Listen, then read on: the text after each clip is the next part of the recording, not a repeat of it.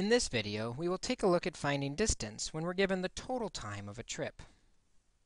If I had a total time of 8 for a trip, and it took me 2 hours to go the first leg, to find the second leg, you would simply subtract 8 minus 2.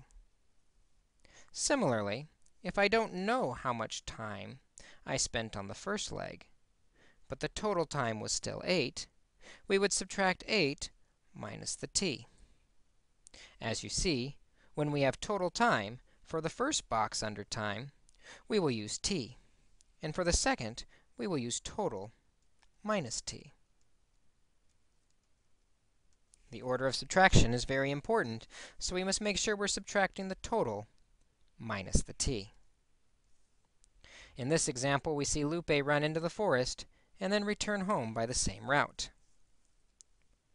Organizing our information in a table, we see that rate times time equals a distance. Going into the forest, her rate was 10 miles per hour. Coming out of the forest, her rate was 15 miles per hour. And we know the total time is 5 hours. When we have the total time, the first cell is t, the second is total, or 5, minus t. This means for our distance, multiplying rate by time, 10t going in, and 15 times 5 minus t coming out. So if it's 10t going in, and 15 times 5 minus t going out, same distance, we can set those equal to each other. We can quickly solve this equation by first distributing the 15 through giving us 75 minus 15t. Add the 15t to both sides, so the variable is all on one side. 25t equals 75. To get the t alone, we divide both sides by 25. This gives us t equals 3. We said t was the trip in, 3 hours.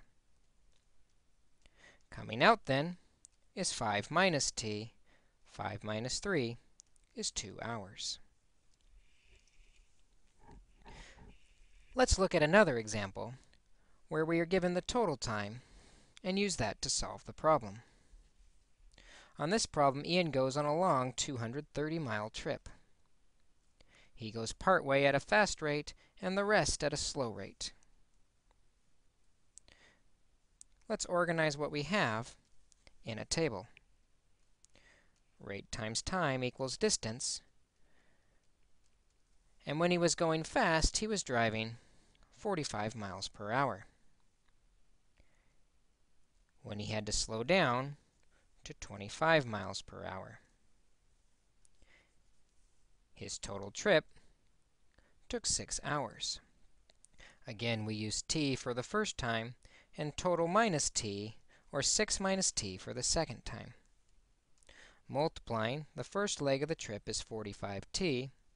The second leg is 25 times 6 minus t. If the first leg is 45t, and the second leg is 25 times 6 minus t, we need to add them together to get the total trip. 45t plus 25 times 6 minus t equals the total trip of 230 miles. We can quickly solve this equation by first distributing through the parentheses. When we do, we get 45t plus 150 minus 25t equals 230. Combining like terms will give us 20t plus 150 equals 230. Subtracting 150 from both sides as we start to isolate the t. 20t is equal to 80.